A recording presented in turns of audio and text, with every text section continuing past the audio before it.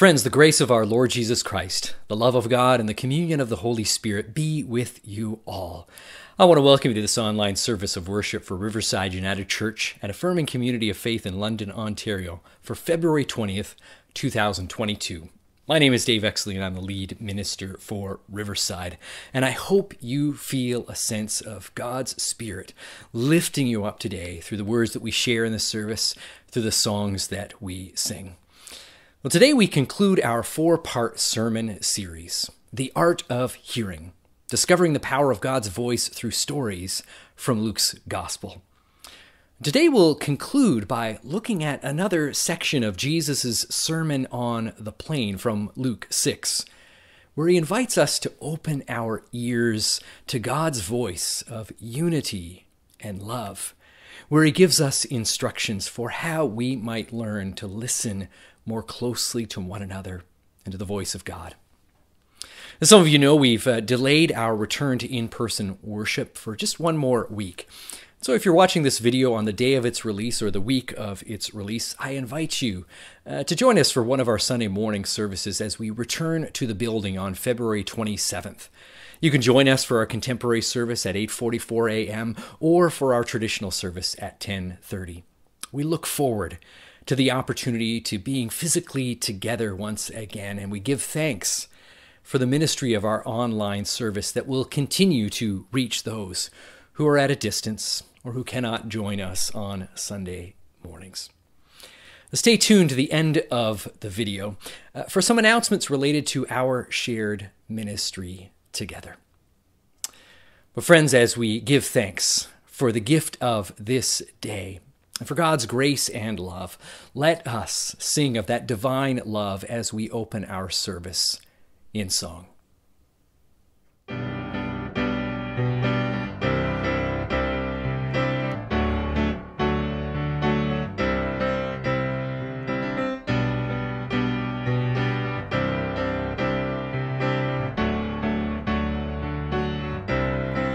Your love is amazing, steady and unchanging.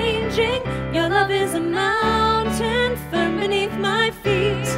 Your love is a mystery, how you gently lift me when I am surrounded. Your love carries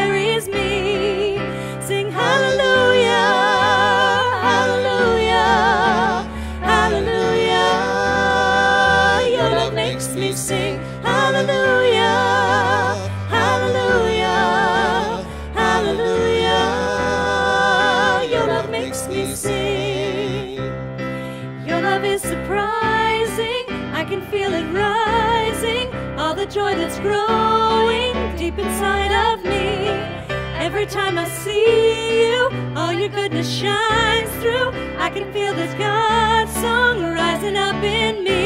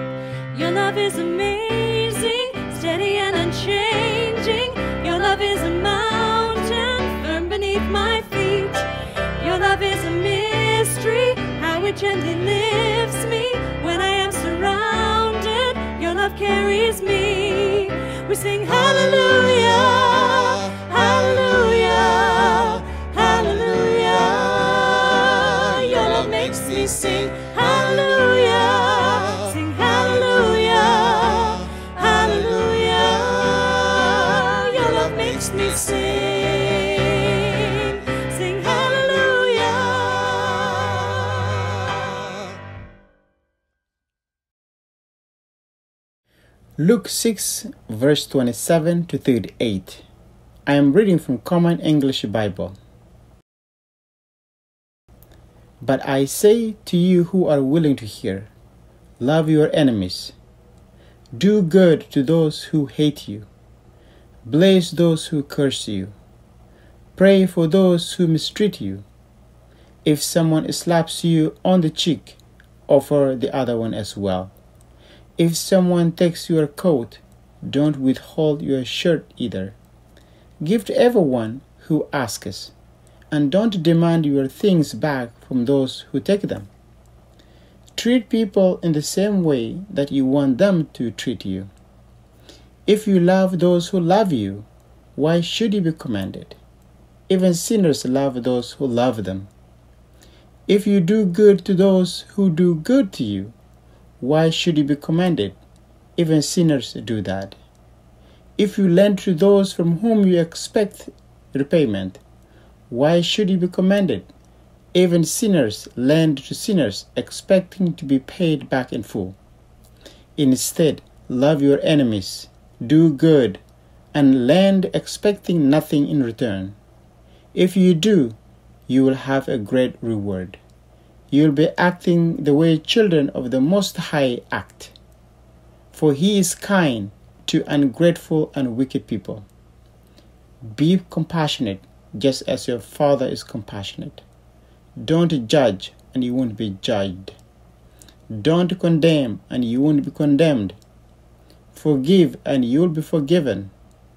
Give, and it will be given to you. A good portion packed down, firmly shaken, and overflowing will fall into your lap. The portion you give will determine the portion you receive in return. May the Spirit bless us with wisdom and wonder as we ponder the meaning of these words for our lives. And friends, let us pray. O creative God, source of all beauty, you give light to the soul. Open our hearts as we listen for your word, and open our minds as we dream with you. Reveal your life giving truth that comforts and disturbs us through Jesus the Christ. Amen. But I say to you who are willing to hear.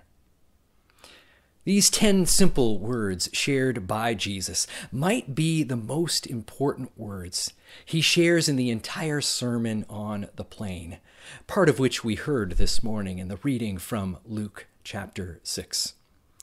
But I say to you who are willing to hear.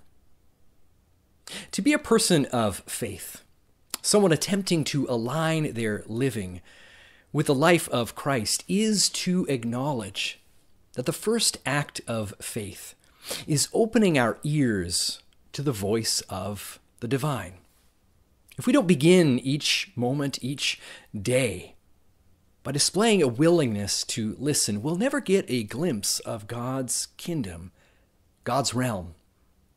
And so it's, it's fitting that Jesus opens this passage with these words But I say to you who are willing to hear. There's so many things that prevent us from listening.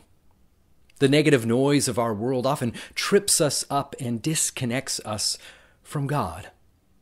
It's in these moments that we find ourselves unable to hear that voice, that voice of the divine, the one that attempts to guide us back to where we began, to that place of grace and love.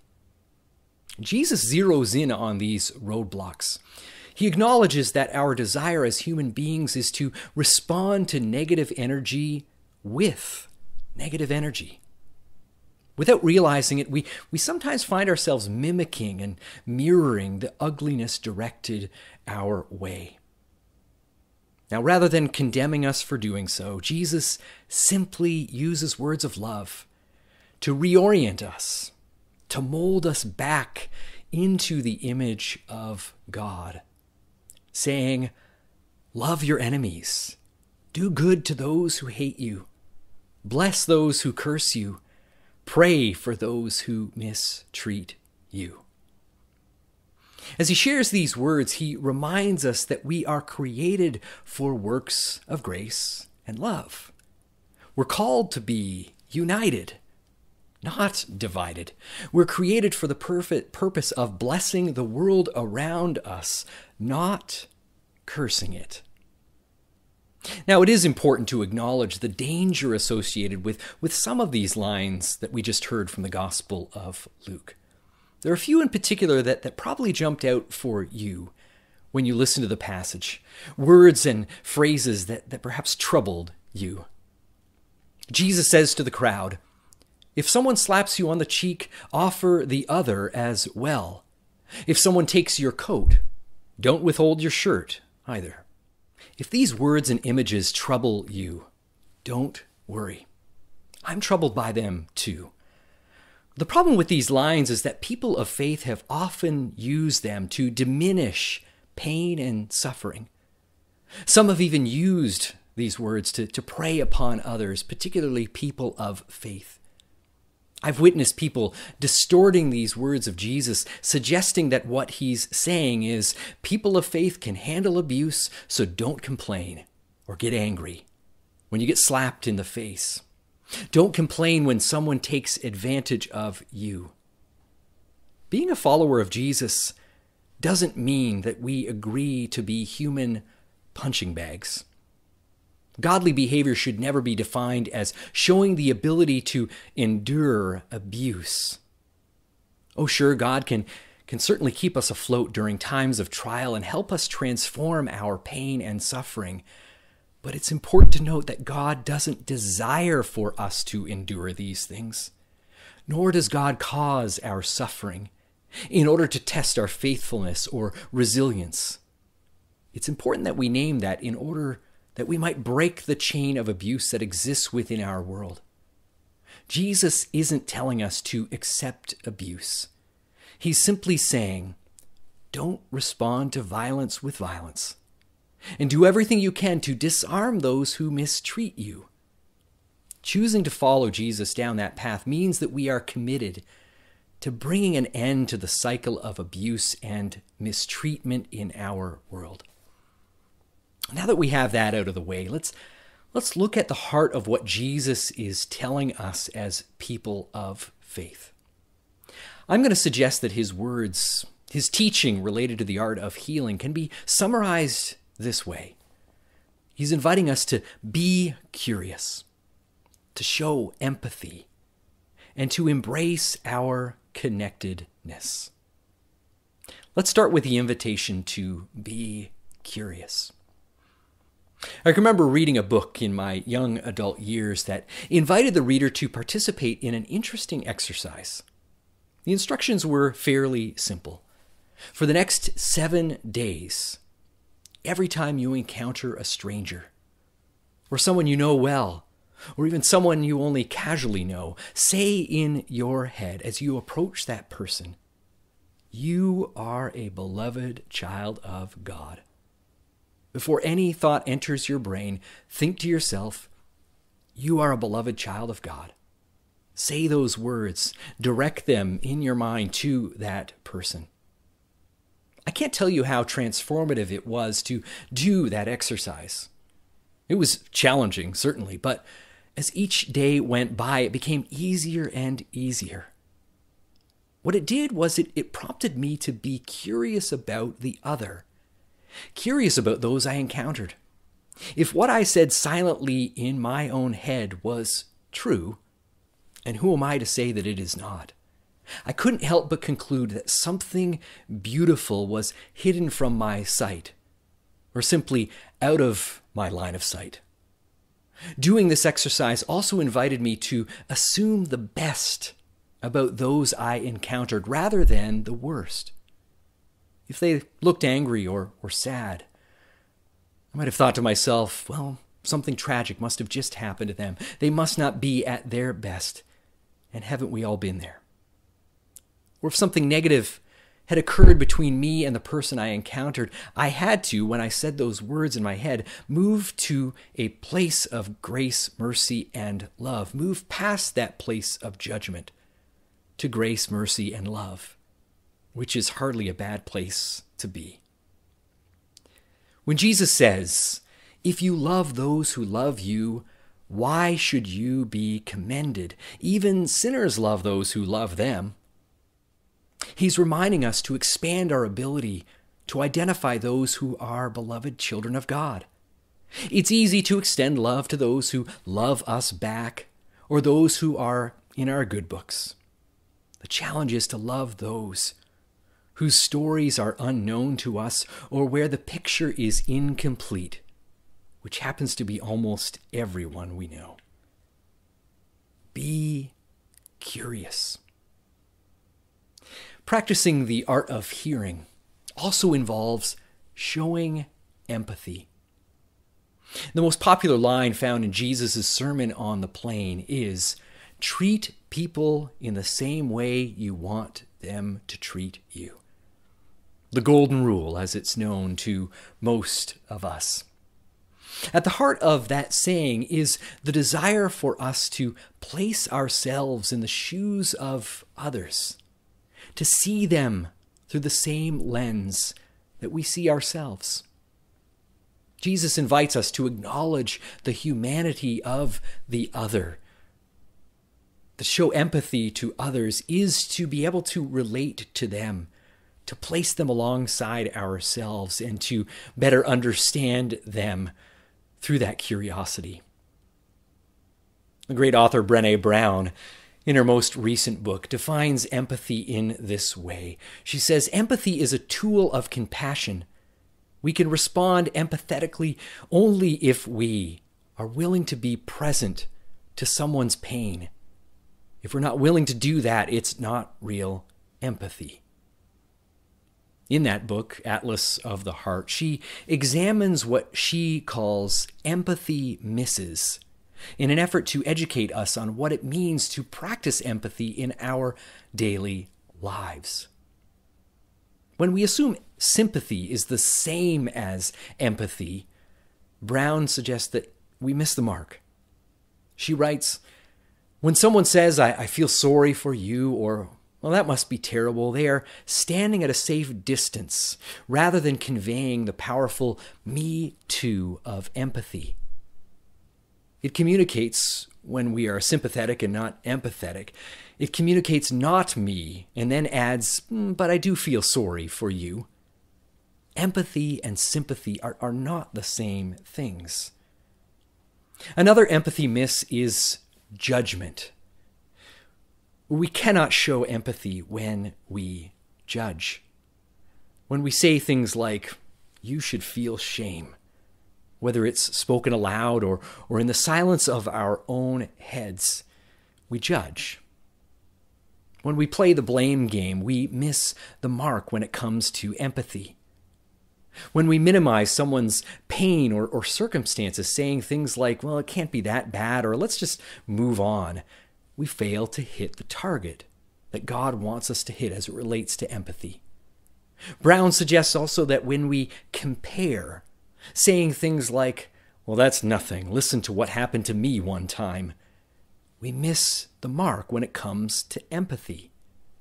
And when we reduce things to advice giving or, or to problem solving, attempting to find the fix for someone, we fail when it comes to empathy. When we dig deep within ourselves, we begin to discover that what we so desperately long for in our living are individuals who practice empathy with us, those who treat us in the way that we want to be treated. Finally, the last thing that Jesus invites us to do as we learn the art of hearing from him is to embrace our connectedness. This represents the, the heart of Jesus' message. He came so that we might hear the word of God clearly. That word that declares us to be one with creation, one with God, one with humanity, with one another. Everything Jesus says in the Sermon on the Plain and throughout his life and ministry points to that simple and yet deeply challenging practice embrace our connectedness. Richard Rohr offers some insight into why we struggle so much with this practice, particularly those of us in the Western world. He points out that the West has, has made an art form of the individual person. It is one of our gifts to civilization.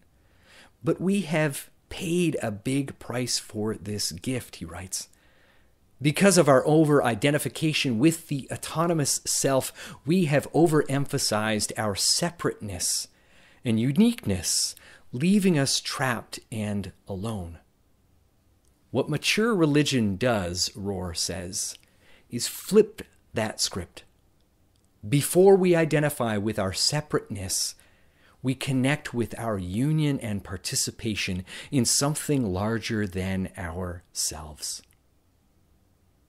God's first and last words remind us of our connectedness. God's very being, God's very nature invites us to embrace our connectedness.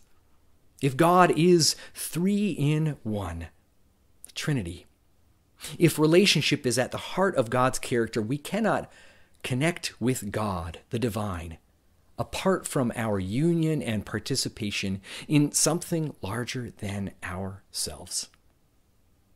The practice of the art of hearing, to do that, to practice the art of hearing alongside Jesus and all those others who long to walk in his way, is to be curious, to show empathy, and to embrace our connectedness. These things aren't easy, they require patience and humility. There will be moments where we trip and fall, moments where the noise of this world will drown out that word of God. But if we show a willingness to hear, God will open our ears to the words that really matter. God's light will reveal itself like the morning sun on the horizon. And in our hearing, the whole world will be as one. Amen.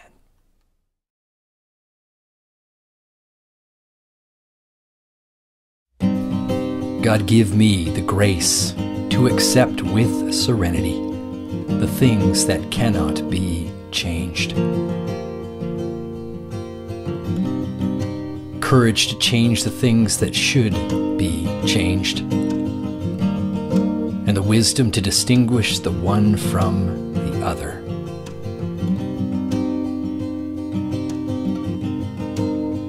Living one day at a time enjoying one moment at a time, accepting hardship as a pathway to peace. Taking as Jesus did this sinful world as it is, not as I would have it. Trusting that you will make all things right. If I surrender to your will,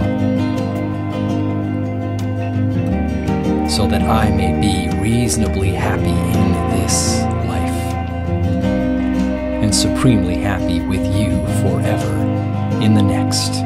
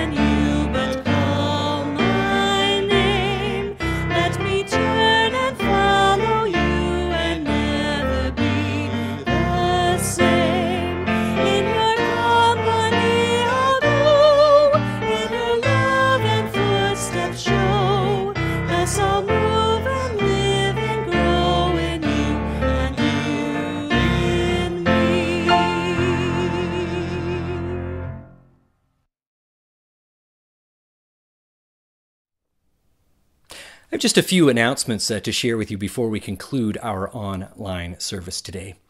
Uh, for members of Riverside and, and, those who regularly participate in the ministry life of our church, I want to invite you to join us on Sunday, March 6th for our annual congregational meeting. Uh, we'll be having a combined service of worship that morning, an in person service, as well as our online service. Uh, that in-person worship service will happen at 9:30 a.m. and the meeting will begin not long after that service concludes at 10:45 a.m. You can participate by joining us in person. Uh, you can also uh, connect with us through an online video call that will link you up to the meeting. Uh, and you can also join us by dialing into our toll free number for those who have limited access to technology. Information was sent out via congregational email, uh, and we will continue to provide additional details in the days ahead. Make sure you, that you sign up for our weekly e newsletter if you haven't already done so. We look forward to this opportunity to celebrate our shared ministry together and reflect on our participation in God's mission for the world.